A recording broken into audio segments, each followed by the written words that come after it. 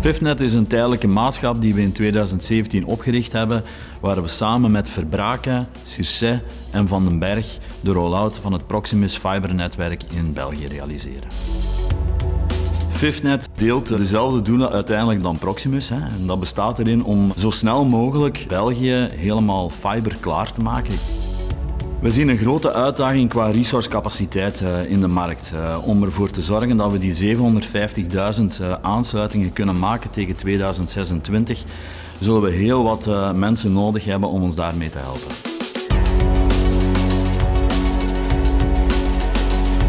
We hebben de afgelopen jaren heel veel gerealiseerd samen met de drie partners. We zijn gestart in 2019 met 33.000 aansluitingen. We hebben dat stelselmatig geaccelereerd, zoals Proximus gevraagd had, om uiteindelijk naar volgend jaar toe 186.000 aansluitingen te moeten maken.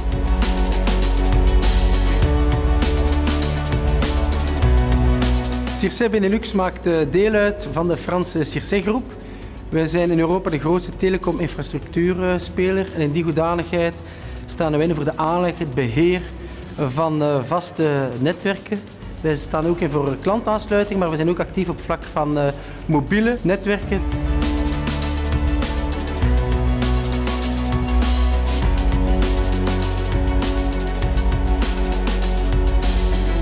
Wij hebben als Circe een 18.000-tal woningen aangesloten in 2021 voor FIFNet en wij plannen dit jaar een verdubbeling.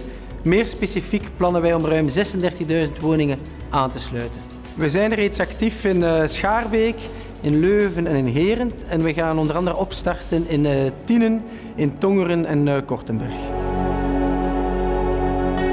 De kracht van Circe binnen de tijdelijke maatschap die bestaat er voor mij in dat zij erin geslaagd zijn om van een partij die binnen de tijdelijke maatschap ervoor zorgde om uh, klantenaansluitingen te maken, om heel snel uh, om te schakelen om ook de rollout van het netwerk te kunnen verzorgen.